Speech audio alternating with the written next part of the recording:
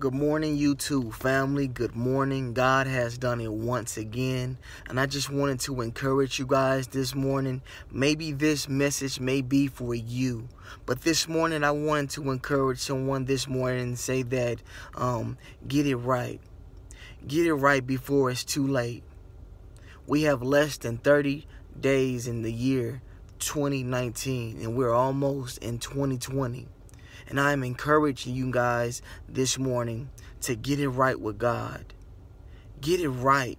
If that means making sure that you have a personal relationship with Christ, if that means turning away from your bad habits, um, repent of your sins, just get it right with God.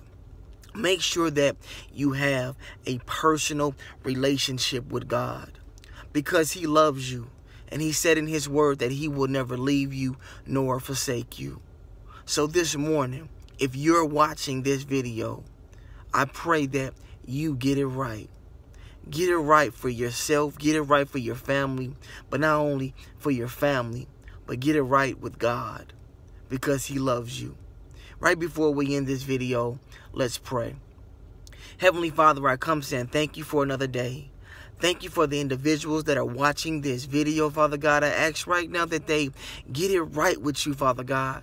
That they turn away from their sins, turn away from their evil ways, Father God, and that they repent.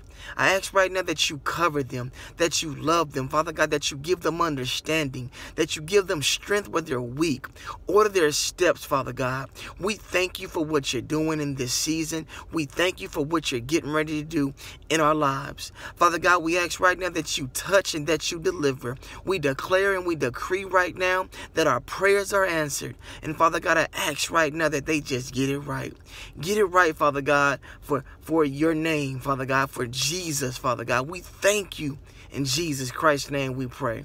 Amen. And thank God. So no matter what's going on in your life, no matter what's bothering you, no matter what's hindering you, give it to God and get it right. Get it right before it's too late. I love you guys and God loves you more.